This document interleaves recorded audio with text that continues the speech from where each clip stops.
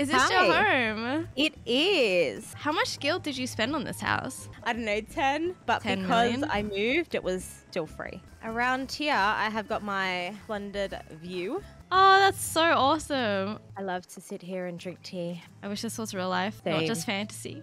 I really like this bridge too. Seating area here. It's the perfect time to view the interior of my house. Wow.